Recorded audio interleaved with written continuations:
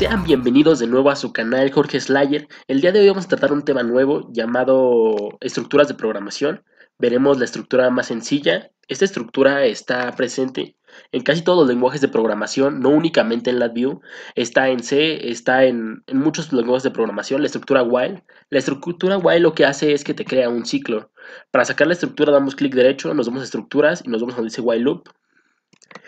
El while loop tiene varias partes. Primeramente tenemos aquí este botoncito rojo.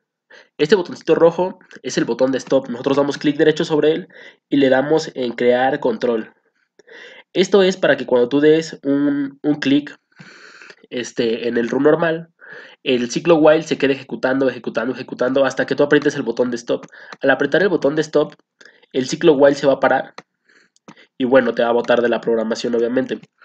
Entonces tenemos aquí nuestro ciclo while. Para hacer que esta, este icono se vea más pequeño, le podemos dar clic derecho y en View as Icon. Y ya nos queda el mismo, el mismo icono, pero más pequeño. De este lado tiene otra parte interesante, que es este cuadrito azul. Este cuadrito azul sirve para ver cuántas veces se ha ejecutado el while. Cuando tú mandas ejecutar una instrucción como esta, un ciclo como este, se ejecuta demasiadas veces, una tras otra, tras otra, tras otra, tras otra vez. Entonces lo que tú necesitas, o lo que podrías necesitar en un futuro, es controlar la velocidad de ejecución dentro de este while. Para saber cuántas veces se ha ejecutado, vamos a ponerle un control. Para poder ver, damos clic derecho, creamos un indicador nos aparece este icono, damos clic derecho en View as Icon, nos queda un icono pequeño. Este icono, este, este indicador nos va a estar este, indicando, vaya la redundancia, las veces que se ha ejecutado el ciclo while. Entonces, aquí le vamos a poner ejecuciones. Aquí todos los, la mayoría de los botones tienen este letrerito arriba. Esto es un label. Tú se lo puedes poner o quitar. En este caso lo vamos a quitar, le damos clic derecho en Visible Temps, le damos en Label y desaparece el, letrerito del, del, botón de Stop. Ahora lo que vamos a ver va a ser una nueva herramienta que vamos a estar manejando igual, va a ser el tiempo. El tiempo, hay muchos tipos de tiempo, todos estos son tiempos, pero en, en lo personal se me hace más cómodo utilizar este. Cuando tú no sepas para qué sirve una herramienta, puedes dar clic derecho sobre él, le das en Help y te va a abrir una ventana que es la ventana de ayuda. Aquí nosotros tenemos el icono y nos dice que debemos de introducir un tiempo en milisegundos, que va a ser el tiempo que va a estar esperando. Ahora nosotros para controlar este tiempo vamos a utilizar, nos vamos a numéricos y nos vamos a un slide. Vamos a utilizar un slide. En este caso vamos a sacar este. ¿Para qué vamos a utilizar el slide? El slide va a ser para estar multiplicando el tiempo y que se haga más lento o más rápido, para poderlo graduar de una manera más, más gráfica. Entonces al slide le vamos a poner aquí arriba tiempo. Ya que le pusimos tiempo, el slide nos va a aparecer de este lado. Para que el icono no sea tan grande y no se haga tan grande nuestra programación, le vamos a dar clic derecho en View as Icon para hacerlo más pequeño. Ahora, el, el slide o nuestra barra de tiempo ahora va del 0 hasta el 10. Y nosotros vamos a multiplicar lo que sea que nos esté dando esa barra, lo vamos a multiplicar por 100. ¿Por qué por 100? Tú lo puedes multiplicar por lo que quieras, pero en mi, en mi caso se me hace más cómodo hacerlo así para que se note el cambio de la velocidad en la ejecución. Entonces conectamos lo que viene del slide, lo conectamos a una multiplicación por 100 y eso lo mandamos al tiempo, que va a ser el tiempo que en realidad va a estar esperando entre cada ejecución. Y para nosotros ver esto, le damos nosotros un run normal y vemos aquí nuestro indicador de ejecuciones que va lento, va 3, 4, 5, 6, 7. Es un bucle que está ejecutando, pero si nosotros le bajamos aquí a nuestra barrita, vamos a ver que va a empezar a ejecutar más rápido. Va a ser el ciclo, lo va a acabar y lo va a volver a empezar más rápido. Si nosotros nos acercamos, mientras nos acercamos al cero, los números van incrementando más rápido. Esto quiere decir que está ejecutando más rápido y cuando lo acercamos al 10 está ejecutando más lento. Sigue ejecutándolo en un ciclo de repetición, pero este ciclo es un poco más lento. Entonces para nosotros poderlo ver más gráficamente vamos a poner unos, unos pocos LEDs. Entonces aquí ponemos un LED booleano, lo sacamos de las herramientas booleanas, le damos clic, lo hacemos un poco más grande. Nosotros podemos ah, seleccionarlo, apretar control y con el control presionado en el, teclado, le das clic y lo arrastras hacia la derecha o hacia la izquierda y te duplica lo que sea que, que, haya sacado. Entonces al primero le vamos a poner que es nuestro LED número 1, LED 1, y a nuestro segundo LED le vamos a poner el LED número 2. De este lado, de donde estamos haciendo nuestra programación, ya nos aparecieron nuestros dos LEDs. En cuanto nosotros saquemos una cosa de este lado, de cualquiera de nuestras paletas nos va a aparecer del otro lado, para nosotros poderlo programar y hacer lo propio con ello. Le vamos a dar View as Icon para que se hagan más pequeños porque es mucho más cómodo trabajarlos en iconos pequeños y que no ocupen tanto espacio. Y nosotros vamos a hacer que parpadeen. ¿Cómo haríamos que parpadeara? Nosotros tenemos el LED y aquí cuando nuestro LED está apagado está un dato falso, entonces está en cero. Si yo quisiera que esto cambiara, podría poner, cuando tú das clic derecho, puedes sacar una local variable. Una local variable es el mismo dato que tienes, pero clonado. Es como si sacaras un doble de este. Va a tener lo mismo que tenga este. Entonces lo va a estar clonando, lo va a estar clonando, lo va a estar clonando. Entonces sacamos nuestra local variable, damos change to read para poder leer el dato que tiene. O sea, para no indicarlo, para leer el dato que aloja. Y nosotros podemos poner una compuerta not. La compuerta NOT es muy utilizada en electrónica analógica, es para invertir el dato que tienes. Si a la entrada de la compuerta NOT tú tienes un 0, a la salida vas a obtener un 1. Si a la entrada de la compuerta no tienes un 1, vas a obtener un 0, lo que va a hacer que te va a estar invirtiendo el valor que tengas a la entrada por el valor que tienes a la salida. En este caso lo podríamos apreciar de esta manera. Nosotros tenemos un 0 aquí, lo transforma en 1 y hace que el LED prenda. Pero como ya es 1, en el otro ciclo de ejecución, este se vuelve 1, este 1 lo transforma en 0 y hace que el LED se apague. Esto crea un bucle para que el LED 1 esté parpadeando. Si nosotros le damos run, lo vamos a poder apreciar. Le damos run y está parpadeando el LED, pero vemos que está parpadeando a la velocidad del ciclo de la ejecución y esto tiene que ver con el tiempo que pusimos dentro. Al nosotros hacer el tiempo más rápido, vemos que el LED va a estar parpadeando más rápido, más rápido, más rápido conforme nos acercamos al cero. ¿Por qué? Porque la multiplicación de 1 por 100 es igual a 100 milisegundos y por eso es la velocidad a la que está parpadeando.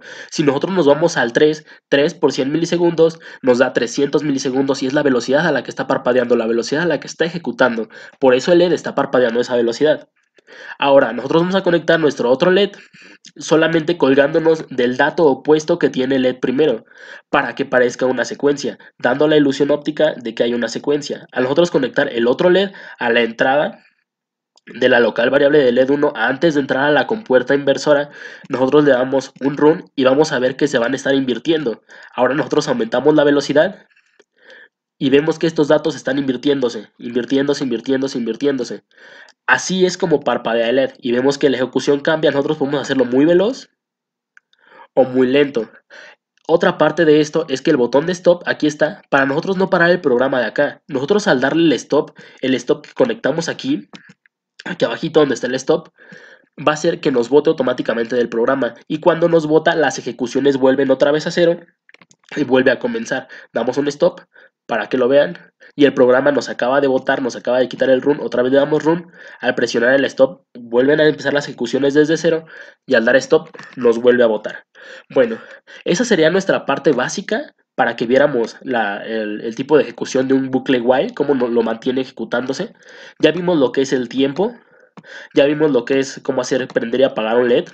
Ahora vamos a ver algo muy común que se da en, prácticas, en empresas, donde utilizas tanques. ¿Los tanques para qué los utilizas? Sueles utilizar tanques para, para algún proceso de mezclado, de licuado, sea cual sea el proceso que ocupes. Casi siempre los tanques son necesarios que los tengas. Entonces nos vamos a numérico, sacamos un tanque y les vamos a enseñar cómo hacer que, estando dentro del while, el tanque lo vayamos llenando manualmente y cómo cuando llegue a su estado más alto el tanque prenda un indicador de que ya está lleno y cuando esté vacío prenda un indicador de que esté vacío. Para hacer esto necesitamos un control numérico obviamente para mover el tanque. Entonces vamos a numérico, nos vamos a control y sacamos el control numérico. Aquí le vamos a poner tanque 1 porque este control numérico me va a estar este, moviendo el tanque 1 y aquí ponemos tanque 1 igual. Tanque 1 Aquí tenemos nuestros dos, nuestros dos indicadores. Tenemos que es el tanque, este es el control que vamos a estar moviendo y de este lado tenemos el otro tanque 1, que es el real tanque donde se va a estar incrementando y decrementando lo que nosotros metamos en nuestro, nuestro control numérico. Ahora simplemente para que queden unidos unimos este con este A los dos le damos View as Icon para que quede el icono más pequeño. Los podemos seleccionar todos, damos clic derecho y le damos en View as Icon y se hacen pequeños los dos. Ahora nos faltan unos pequeños LEDs indicadores que nos digan cuando está en posición máxima y cuando está en posición mínima, que es 10 y 0. Entonces nosotros vamos a dar clic derecho, nos vamos a ir a nuestras paletas donde tenemos operaciones matemáticas.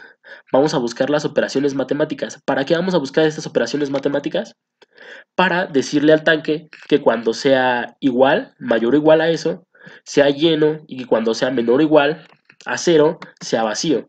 Entonces, si nuestro tanque es mayor o igual a 10, nos va a prender un indicador de que está lleno. Y si es menor o igual a cero, nos va a prender un indicador que está vacío. Nosotros para entrar a estas operaciones matemáticas damos clic derecho, nos vamos a, a las comparaciones nos vamos aquí, donde dice menor o igual, este símbolo es de menor o igual, este otro es de mayor o igual, ahorita vamos a utilizar menor o igual. Ya que los tenemos acá afuera, ahora necesitamos poner los LEDs. Cuando tú pones dos dos de estos iconos muy cerca, a veces hace conexiones, a veces hace conexiones automáticas. Esta la vamos a borrar porque le hizo el programa solito. No nos preguntó, nosotros no le hicimos, borramos esa conexión. Ahora necesitamos dos LEDs que van a ser los que nos van a estar indicando nuestro tanque. Vamos a utilizar este tipo de LED, que es un LED como rectangular. Simplemente por estética se ve mejor. Lo sacamos de aquí, de booleanos, nos vamos a Square LED. Ya los tenemos aquí abajo. Ahora nada más cambiamos el tamaño un poco. Siempre y cuando tú tengas tu barra en automática, nada más basta con acercarte para poder mover y modificar el tamaño. Aquí ya tenemos dos LEDs igual. Entonces al LED que nos va a indicar cuando está lleno le voy a poner de nombre 1 y al LED cuando está vacío le vamos a poner 0. Tú le puedes dejar el nombre que trae por defecto de booleano y todo eso pero lo hacemos así, le, cambiamos el nombre para identificarlo, para que no te pierdas. Si vemos del otro lado de la pantalla nos aparece un LED que tiene un 1 y un LED que tiene un 0. Aquí están nuestros dos, nuestros dos LEDs. Nos aparece el que tiene el 1 y que tiene el 0. Y tú ya identificas propiamente que el 1 fue el que pusimos arriba, aquí está el 1, y que el 0 es el que pusimos abajo. Entonces, nosotros vamos a tener que cuando nuestro tanque, vamos a hacer la conexión de nuestras compuertas comparadoras, que cuando el tanque sea menor o igual, aquí le vamos a poner a 0.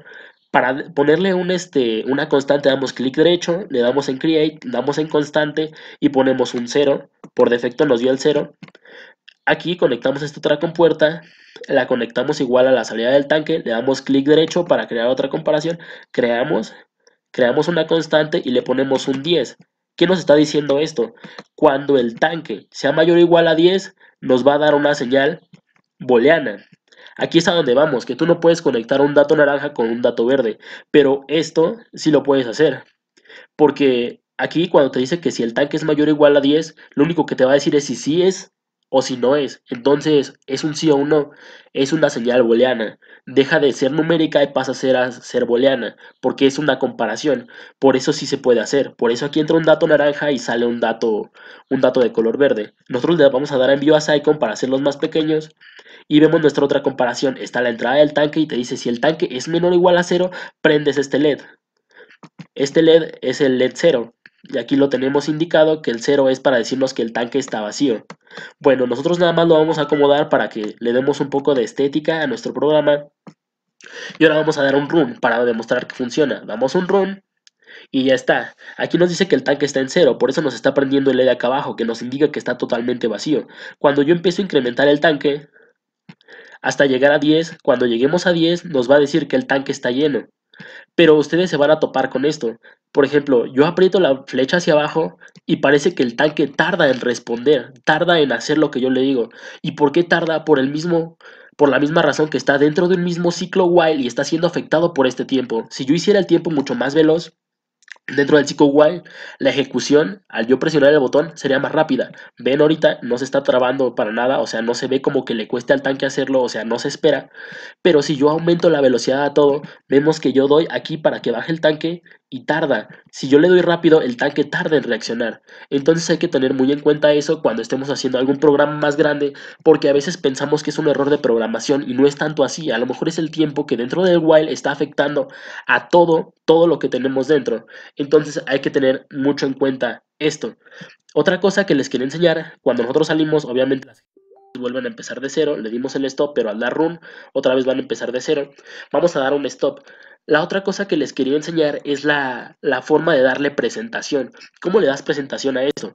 Para empezar, aquí los LEDs que tengan el label se ve mal, al menos para mí se ve mal. Para borrarlo, lo seleccionamos, damos clic derecho, damos en Visible Items, le damos el label y desaparecen los números. Esto no significa que desaparezca el, la, la, dirección con la que está, porque acá no acá lo seguimos direccionando, pero sí desapareció de la parte de aquí, de la parte de nuestra presentación y ya no se ve. Nosotros podemos seleccionar todo, irnos a la parte de arriba, aquí donde dice 15pt Application Front, la desplegamos. En Size podemos cambiar el tamaño de la letra. En Style podemos cambiar el tipo de la letra. Yo le voy a poner Blood para que sea un poco más negrita, más llenita. Podemos cambiar igual el color de la letra en el color y podemos dar justificación que se vaya al centro, un lado al otro. Esto ya es de, de, tu, de tu total autoría. Puedes cambiar el tipo de letra. Yo lo dejaré así. Seleccionamos todo para poner un fondo. Nosotros vemos que aquí tenemos decoraciones, decorations. Entonces nos vamos aquí, podemos elegir lo que nosotros queramos para ponerlo abajo, para darle un poco más de, de, presentación a lo que estamos haciendo. Tenemos aquí la decoración, pero ¿qué pasa? Si lo ponemos encima, los iconos quedan abajo. ¿Cómo hacemos que esta decoración, cuando nosotros la, expand la expandamos, no nos tape nuestro programa? Lo que tenemos que hacer primero es seleccionar todo lo que tengamos lo seleccionamos todo, nos vamos aquí donde están nuestras flechitas y le damos Move to Front. Esto nos dice que ya lo envió para arriba y nuestro cuadro que estamos poniendo se queda abajo. De esta manera no te lo tapa. Ahora nosotros nada más cubrimos todo, hacemos, expandimos en nuestro cuadrito de tal manera que abarque todo lo que hemos hecho. Y ya, de esta manera queda. Ahora le cambiaremos el color al tanque para que se vea mejor. Les había enseñado a cambiarlo dando clic derecho en propiedades y cambiarlo fill. El cómo se está llenando lo podemos cambiar. No sé, yo quiero que sea negro. Ahora lo que vamos a hacer, vamos a utilizar la Tools Palette para pintar esta pantalla, para que se vea mejor, darle un poco más de presentación. Vamos a darle en View, nos vamos a ir a Tools, a la Tools Palette, y nos vamos aquí a colores, tenemos la brochita, entonces yo voy a agarrar un color azul porque el azul me gusta, y ya pinté el icono de atrás de color azul. Creo que ese azul no es apropiado, creo que le voy a poner este porque es mejor. Ahora quiero cambiar el cómo se va llenando la barra de acá arriba, quiero ponerle, no sé, un color rojo, cambié el color rojo. Y ahora no me gusta cómo se ve la parte de atrás del tanque, creo que es un color demasiado, un gris no tan fuerte, a mí me gusta un poco más fuerte, entonces vamos a poner otro gris más fuerte. Y ya vemos que podemos irlo modificando a como nosotros lo que éramos. Y aquí nosotros ponemos en, de modo manual la paleta. Ya cuando terminemos de hacer esto la volvemos a poner en automática, la cerramos cuando ya terminemos de modificar. Ahora, otro problema, si tú quieres mover algo de aquí, ups, vas a estar moviendo el cuadro de atrás. ¿Por qué lo estás moviendo? Porque se convierte en una parte que está detrás de tu programa. Para que no se mueva, la solución es seleccionar el puro cuadro, nos vamos a las flechitas y le damos el look. Look le damos un atributo de solo visión y ahora ya podemos mover las cosas de arriba. Ahora si queremos mover el cuadro no lo vamos a poder mover. Para poderlo mover tenemos que volver a seleccionar el cuadro. Le vamos a dar aquí en un lock. Primero lo seleccionamos. Eh, lo seleccionamos de esta manera y le damos en un lock y ya el cuadro se va a poder volver a mover.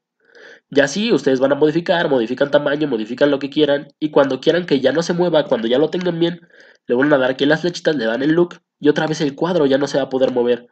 Ya va a ser como parte trasera o, o parte frontal de nuestro programa.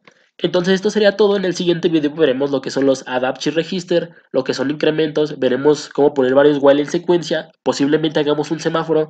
Bueno, esto ha sido todo. Si te ha gustado suscríbete, dale like. Si no entiendes algo lo puedes dejar en la caja de comentarios y yo estaré respondiendo cualquiera de tus dudas. Muchas gracias por haber visto el video y hasta pronto.